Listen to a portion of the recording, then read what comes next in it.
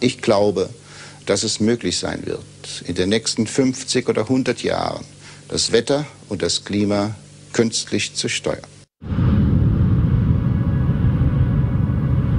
It's definitely within our ability to modify climate.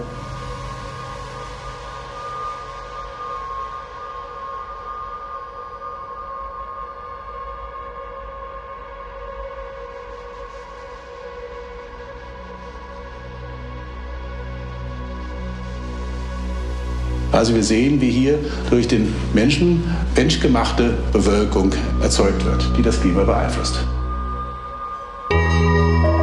Cooling the planet with man-made clouds is currently the best option on offer to fight global warming. We could start doing it next year with airplanes.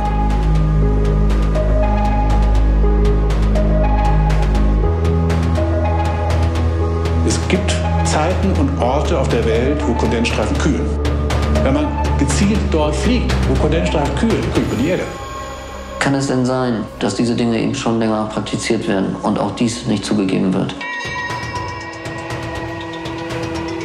Is the government spraying toxic chemicals into the skies all over the world to stop global warming. Well, they say the government is dumping you see chemicals these on us bands to of very distinct cloud cover moving into the region.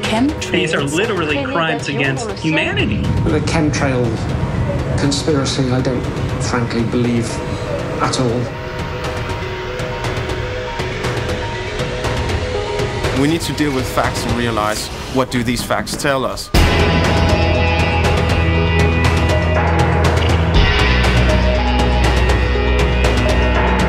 Everything we hold sacred is, is on the line here.